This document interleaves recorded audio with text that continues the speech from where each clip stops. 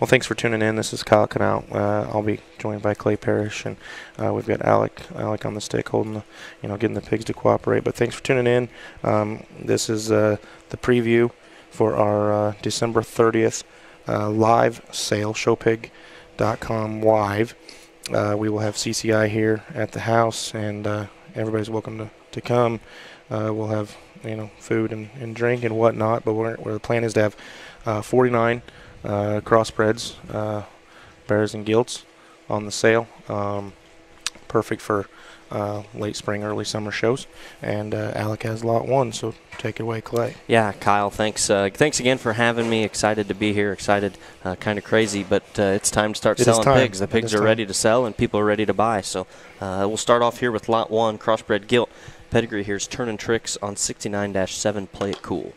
Yeah, so the the bottom side of this one's pedigree would be Play It Cool, Distinct Closet Monster. The Distinct sow would be uh, the dam of Rule 21. The Closet Monster sow would be kind of the, you know, what kind of started this a long time ago. Uh, we bought her as a bred from from Heimer Hampshires back in 2012 or 13. It's been a minute, but uh, you Getting know, old. everything. Yes, uh, very. I feel older and older. Uh, but uh, everything uh, goes back to her on the farm for the most part, and uh, you know we bred her to bred a granddaughter of that Closet Monster to turning tricks, and uh, I think we got a darn nice litter.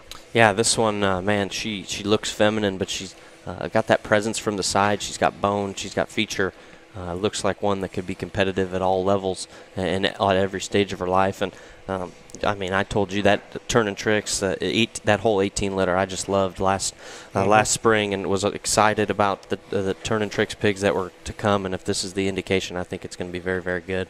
Um, obviously, with the success that uh, uh, Tricked Out had, I think uh, the Sons could could replicate that, and uh, this one certainly could uh, get it off to a good start again. Lot one, crossbred gilt.